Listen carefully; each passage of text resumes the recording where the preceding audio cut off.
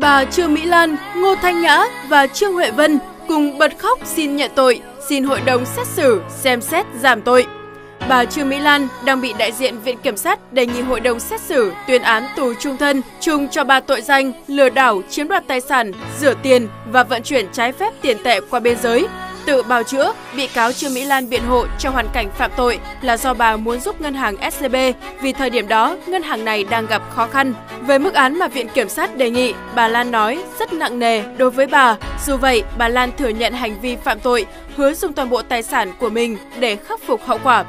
Chồng bà Lan là bị cáo Chu Lập Cơ bào chữa rằng ông đã cao tuổi để đạt nguyện vọng với hội đồng xét xử, mong được hưởng mức án nhẹ để sớm trở về đồng hành với bà Lan bồi thường thiệt hại.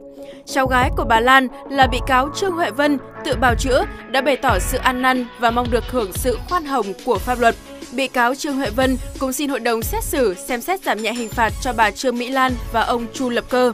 Theo bị cáo Trương Huệ Vân, ông Chu Lập Cơ là người đóng góp nhiều cho xã hội và bị tạm giam trong 2 năm đã quá đủ gian đe.